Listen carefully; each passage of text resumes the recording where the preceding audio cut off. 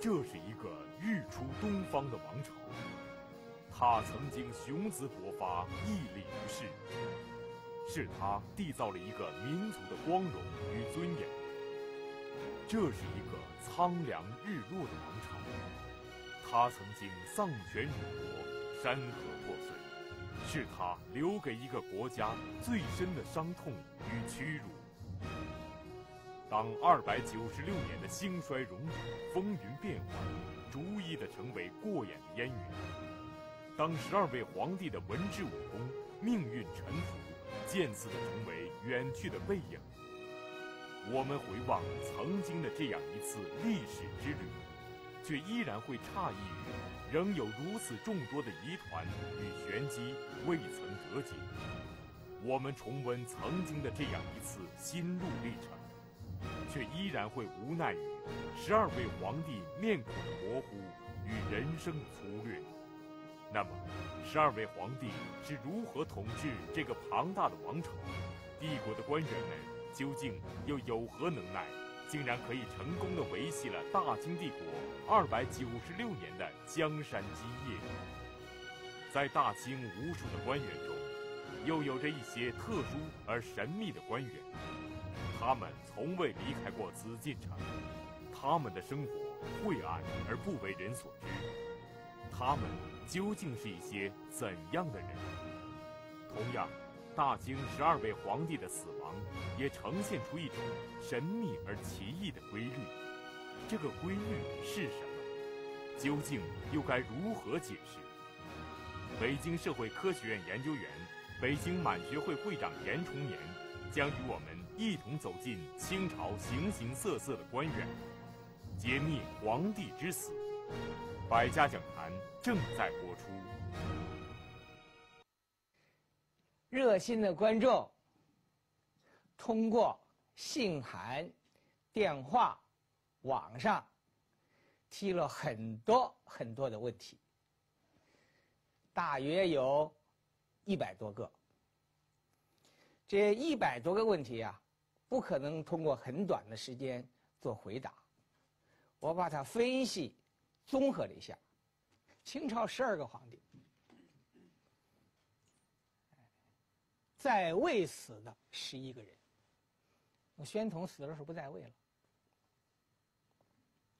这十一个皇帝死啊，是九个有问题。十一个皇帝死，九个有异说。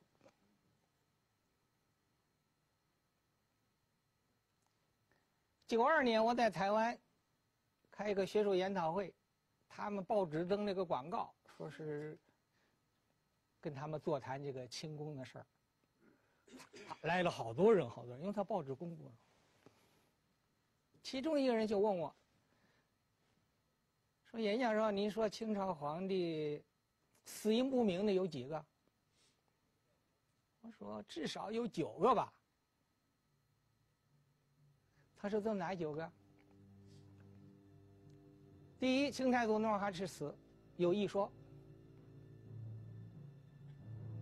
是病死了，是被发局，背上长疮，死了，还是用被袁崇焕炮打伤，不久死了。第二，皇太极是病死了，还是被人给害死了？第三。”顺治是得天花死了，还是出家了？第四，康熙是病死了，还是被人送了人参汤给害死了？第五，雍正是病死了，还是被别人割了头死了？第六，乾隆没有。第七，嘉庆是病死了还是遭雷击而死？底下道光现在没有大的争议。咸丰也是，咸丰是病死了还是被人害死了？同治是得天花死了还是得别的病死了？光绪是病死了，还是被别人害死了？十一个皇帝有一说的占九个。努尔哈赤、皇太极、顺治、康熙、雍正、嘉庆、咸丰、同治、光绪，这比例够大了。那清朝皇帝的死，我看书啊，发现一个很奇怪的现象，大部分是在两个时间死的。一个是在冬天腊正月，一个是在七八月。这个现象值得研究的。例外的呢，一个是宣统，因为他死的时候不是清朝皇帝了，我们不不统计他了。还有个例外呢，就是光绪，光绪是十月死的。光绪的死因。的确值得研究的。我讲完了以后，接了不少的信，就说光绪死的原因。凡是来信的都认为光绪是毒死的，就是讲了种种原因、种种理由。所以光绪特殊，单说。剩下还有十个皇帝啊。这十个皇帝基本上两个时间。一个是腊正月，一个七八月。我把这个时间排比给大家说一下，大家看一看啊。清太祖天命汗努尔哈赤死于天命十一年八月十一日。清太宗崇德帝皇太极死于崇德八年八月初九日。清世祖顺治帝福临，死于顺治十八年正月初七日。清圣祖康熙帝玄烨，死于康熙六十一年十一月十三日。清世宗雍正帝胤禛，死于雍正十三年八月二十三日。清高宗乾隆帝弘历。死于嘉庆四年正月初三日。清仁宗嘉庆帝永琰死于嘉庆二十五年七月二十五日。清宣宗道光帝敏宁死于道光三十年正月十四日。清文宗咸丰帝奕柱死于咸丰十一年七月十七日。清穆宗同治帝。载淳死于同治十三年十二月初五日。光绪和宣统单讨论，基本上两个时间呢，一个腊正月，一个七八月。咱们再分类看看，死于冬季的，就是腊正月的，康熙十一月，同治十二月。顺治正月，乾隆正月，道光正月，一共五个人。死于七八月的也是五个人。嘉庆七月，咸丰七月，努尔哈赤八月，皇太极八月，雍正八月。我说的都是阴历。这个现象值得研究啊！我又查了一下明朝，明朝皇帝什么时候死的，也很有意思。明朝皇帝除了建文帝，因为他这个靖难之役，是是是逃跑了，是在是是跑了地洞里，怎么死了还出家了？这个这是有不同说法了。啊，景泰帝一种说法。是正统给给毒死了。崇祯帝因为李自成打到北京，他没山自缢了，他不是病死。其他因病死的，基本上冬天是腊正月，夏天是七八月。具体的时间我就不念了。这个奇异的腊正月和七八月，久久地盘旋在紫禁城的上空，成为隐藏在宫墙阴影中的皇帝杀手。那么，他究竟为何成为明清两代帝王的死亡之月？这是历史的巧合，是命运的玩笑，还是另有玄机呢？《黄帝内经》他有一个说法，他这么说：“他说，非其时则危，当其时则慎；非其时则生，当其时则死。”就说人体有病，阴阳失调。在他跟时间的节律相违和的时候，就加重，就可能死亡。从这里面，我们可以考虑一个问题，就是清朝皇帝死亡的时间和气候节律有一个联系。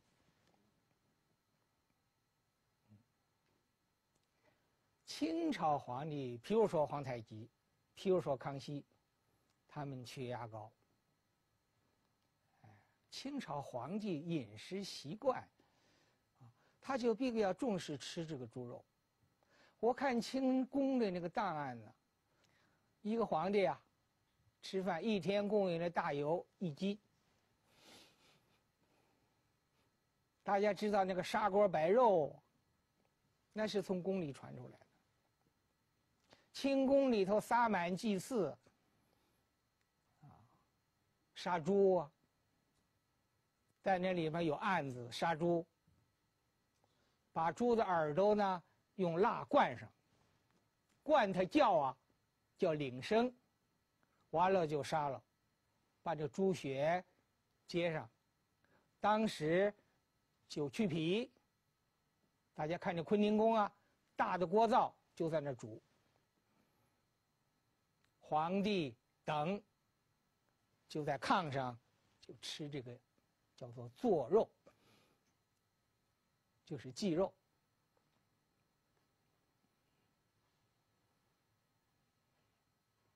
所以清朝皇帝一些的死亡，从高血压、心脏病有直接关系。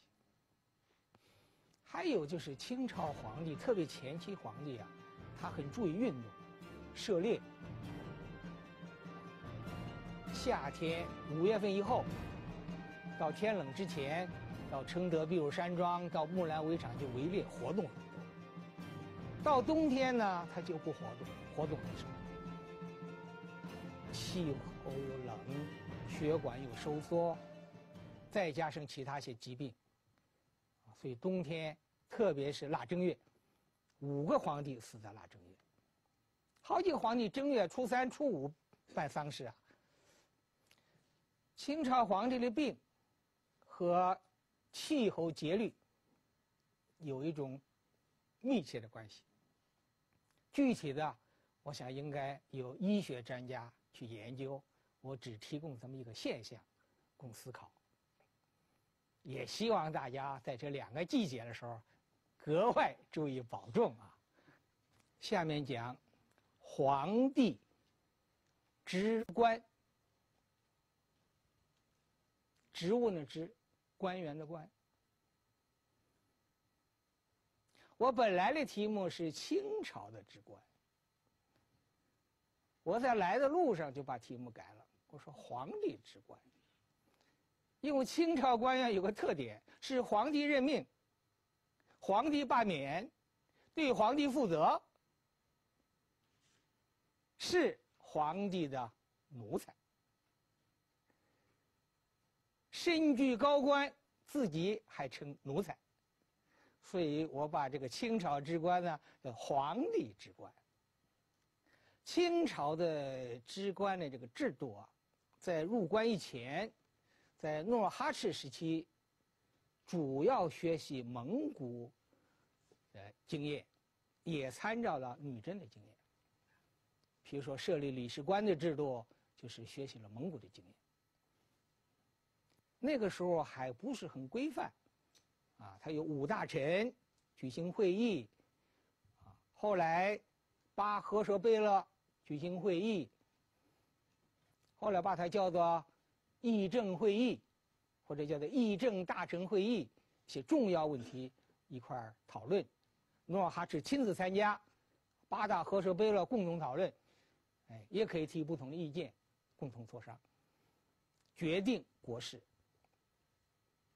到皇太极的时候，直观有变化，哎，就是重点学习中原汉族明朝的国家管理的办法，所以他设立了三院、六部、二衙门，就是内秘书院、内国史院、内弘文院三院，六部啊，就是吏、户、礼。兵、刑、工六个部，还设立两个衙门，一个就是督察院，管监督、管监察；一个是督察院，管监察；一个是理藩院，重点管民族事务，特别是蒙古事务，也监管对朝鲜的事务等。入关之后，清朝的。国家中央国家机关主要参照明朝的国家机关的办法，在中央，一个是设内阁，后来规范成三殿三阁大学士，再就设军机处，军机处是清朝特出的，前代没有，后世有。军机大臣人数不固定，一般五至七人。军机大臣再兼大学士，权力就很大。再就是六部，吏部管干部，户部管财政，礼部。管典礼、科举、教育；兵部管军事；刑部司法；工部管建筑。清朝六部的特点是双轨制，就是尚书满汉各一，侍郎就是副部，左右。左侍郎、右侍郎，满汉各一，就是四个侍郎，两满两汉。督察院主官是左都御史，主要管监察。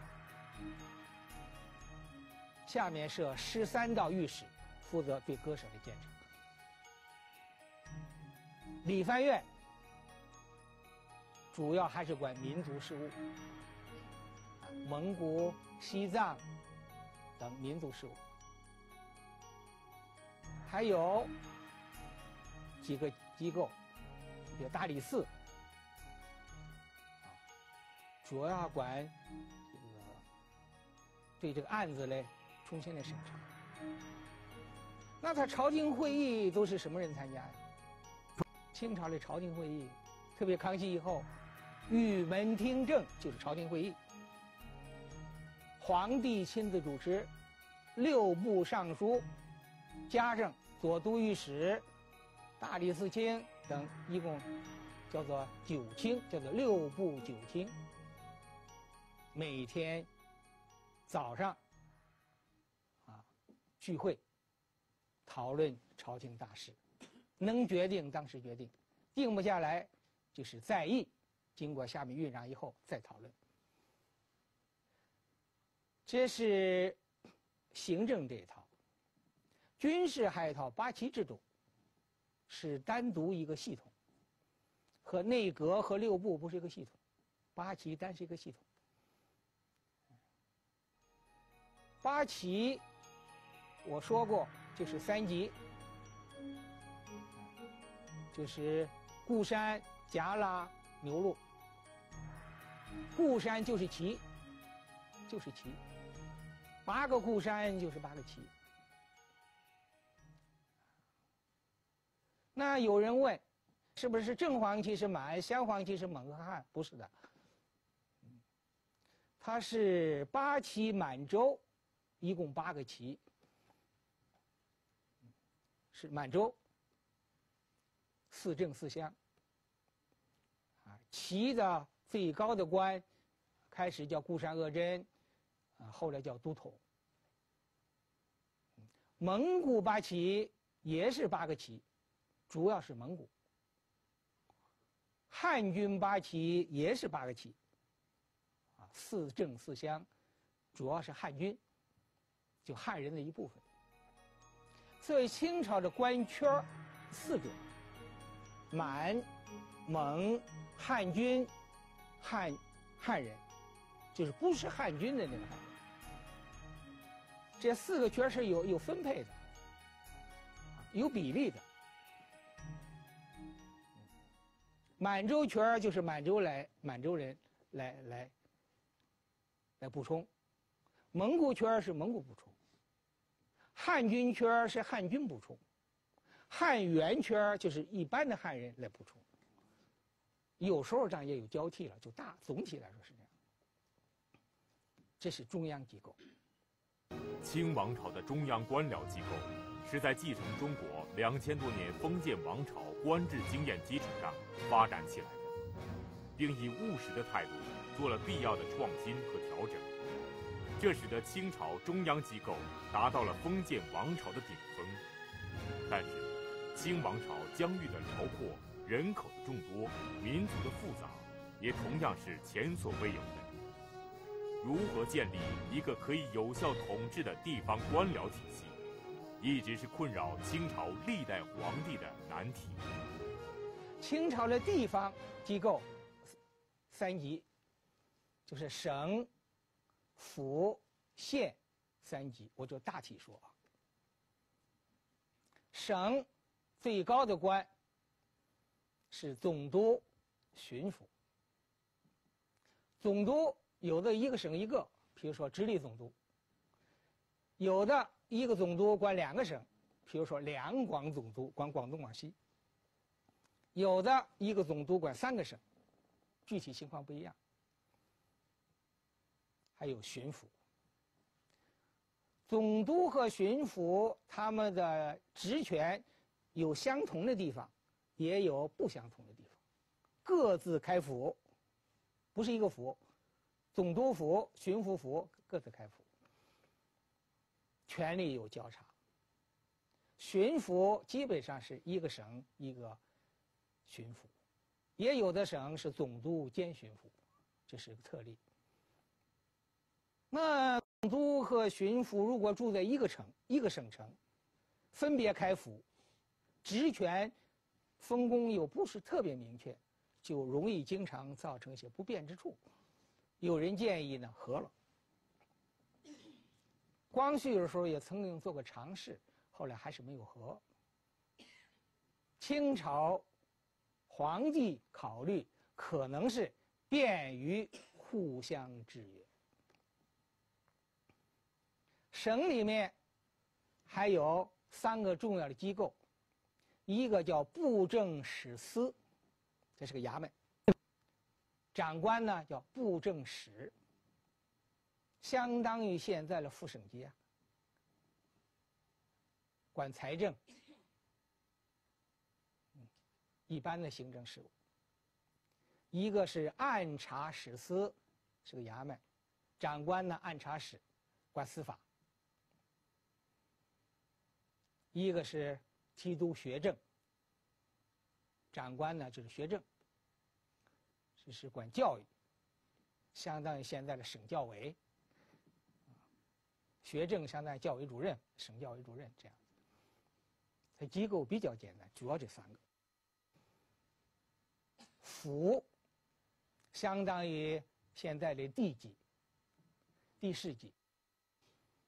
府的首长就是知府，副职就是同知，他有有副职。嗯，再下面是县，县的长官就是知县了，大家都熟悉了。清朝官员有几个特点。清朝地方官制的特点：其一，皇帝任命；其二，军政合一；其三，行政司法统一。第一个特点就是皇帝任命，总督、巡抚不要说了，知府、知州不要说了，道员不要说了，一直到知县，由皇帝任命。由皇帝罢免，一句话吧，由皇帝任免。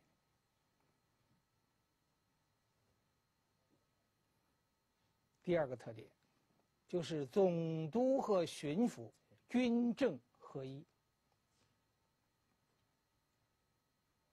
比如说两广总督，他还兼兼兵部尚书。兼右都御史，就是他还管军队。他这里头直接管理部分军队，叫督标，总督的督，标准的标，督标。巡抚也是，巡抚一般的也兼兼督察院右副都御史，兼。兵部侍郎，他管的那个军队叫服标，巡抚的服标准标，就是在省这一级，他军政是统一的，就是清朝的总督和巡抚不仅有行政权，而且还有军权。第三个特点就是行政。司法统一，知县既是知县，又是这个县的法官。咱看那看戏呀，知县开堂，他坐大堂，他就审判官了。知府既有行政职能，也有司法职能。总督和巡抚同样，除了行政权力、军事权力，还有司法权力。因为皇帝是一元化的，皇帝既是国家元首，又是国家最高行政长官，还是国家最高军事统帅，还是国家最高的祭祀者。在清王朝庞大的官僚体系中，有着一些特殊而神秘的官员，他们几乎终身未曾走出紫禁城半步。他们的生活和命运，从来不为外人所知。那么，他们是些什么样的人？他们又有着怎样的命运？清朝官还有一个特点，就是内官。太监，太监在中国历史很悠久了，周朝就有，他叫。阉人、四人，一直延续到清朝。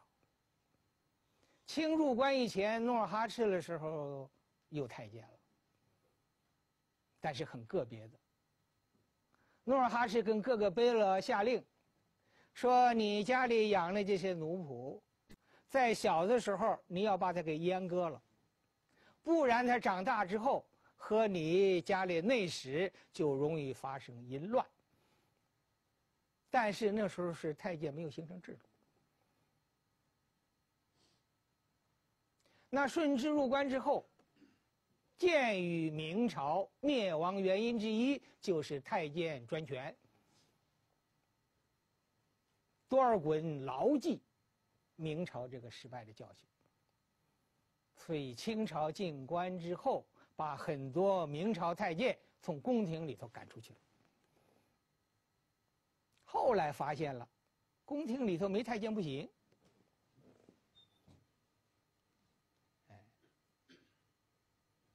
他宫女那么多有些事情要男性担任男性不阉割又不行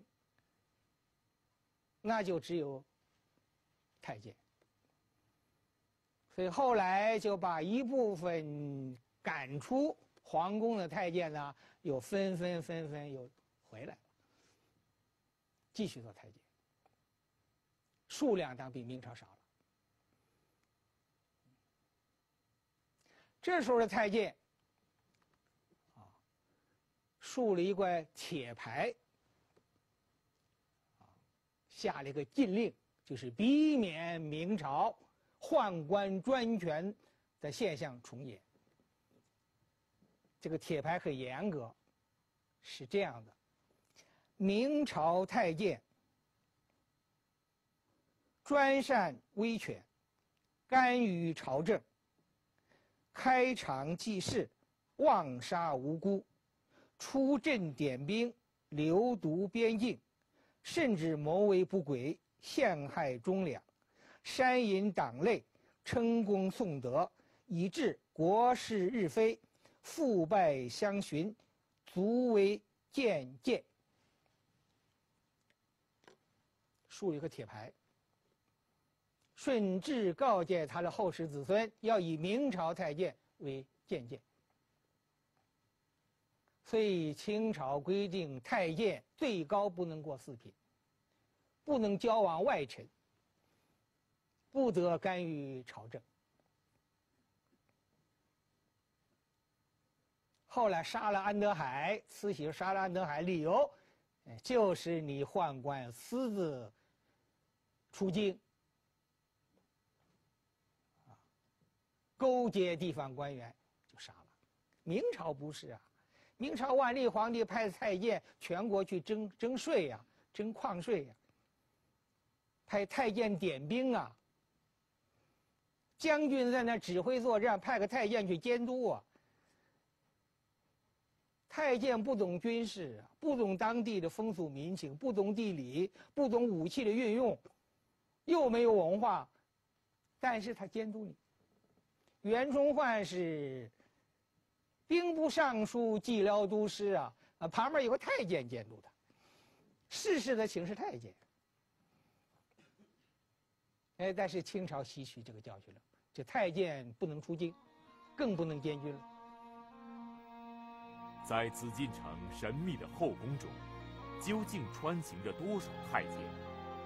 在他们表面的衣着光鲜之下。有着怎样特别的心情和特殊的生活？他们又是怎样来到这重重的宫闱之间，开始他们的不归之路呢？那这个有太监就得有个机构管理啊。哎，说顺治的时候呢，就设这个十三衙门，做一个太监的管理机构。这个机构呢，比明朝的时候缩小了。他受内务府来管辖。清朝太监总的人数大概是三千多人。俗话说够不够三千六？三千多人。最少的时候要千呃，光绪的时候大概是一千九百多人。主要原因就是招不来了。其实后来清宫的太监呢很穷，啊，人家不愿意去做太监。有一本书，就记载明朝太监的这个悲惨的情况，这样说：说兴荣枯槁，衣服褴褛，个个与穷寡妇无异，那就很悲惨。那清朝太监哪来？主要是北京附近地区，河间啊，宝坻呀。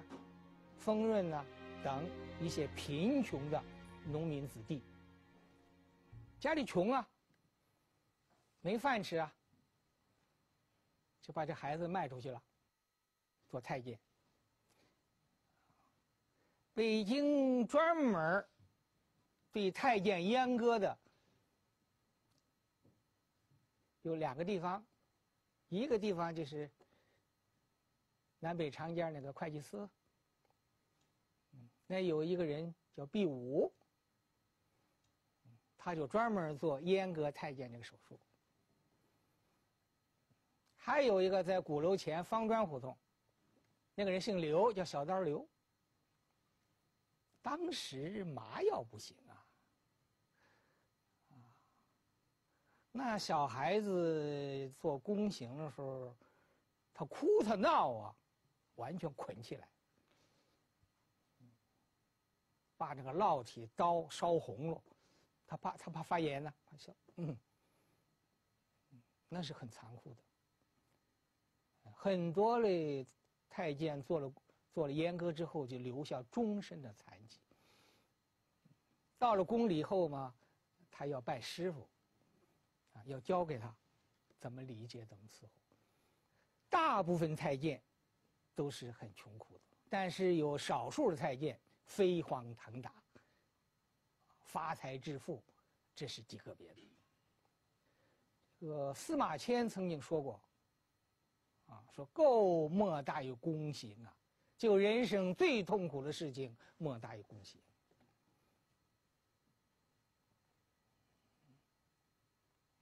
这些人在宫里头有严格的纪律，比如说规定，嗯，该起床的时候晚起了，说话声音大了，说你喧哗。啊，就打板子。最严重的时候，一种刑罚叫气毙，喘气的气，死亡的毙，气毙，就是受刑的太监用七层棉纸蘸上水，把七窍、眼、耳、鼻、嘴整个糊上，糊七层，完了打，连打带憋。所以叫气毙，憋死。特别是溥仪出宫之后，很多太监他没有一技之长啊，生活很困难。后来他们聚集在北长间这个会计司胡同那儿。五十年代初期，我还做学生的时候，啊，到那个地方做一些义务的活动。那个院儿里头有二十八个太监。都是些老年，六七岁、六七十十岁以上。我亲自跟他们一块儿谈过话、聊过天儿。那些人的长的样子就摞着腰，啊，很像一个老太太，都没有胡子。说话的声音呢，就是尖声尖气。政府发一点救济，勉强维持生活。很遗憾，当时没有留这个心呢，啊，把它做一点详细的笔录，就是一个很好材料。在清宫做过太监的活着的，现在一个没有。我刚才说到这个这个太监的来源，我小时候也听说，说小孩别乱跑啊，也小心拍花子的，那我也不明白是怎么回事，后来看了书明白。所以拍花子就是有一些拐骗儿童的，嗯，把那小男孩就抢走了，抢走完了，过一段时间就就卖了，卖完了，就是阉割以后就做太监了。当然也有的太监呢，你像康熙的时候有一个太监呢，他自己做生意，做生意亏了，没办法了，自己请人阉割，完了以后做了太监。乾隆的时候发现了，这人已经岁数很大了。乾隆特别恩典，放他回家，跟他家人团聚。大部分都是生活无着，有的走投无路，啊，才净身做了太监。太监是封建制度的一个坠流，随着王朝的覆亡，太监制度跟着就消失了。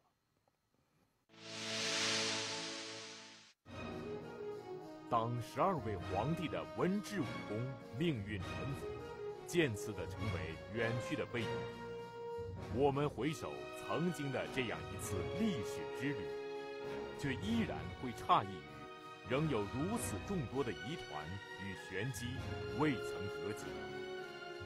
我们重温曾经的这样一次心路历程，却依然会无奈于十二位皇帝面孔的模糊与人生的粗略。但是，送君千里，终须一别，旅程终究也会有结束的时候。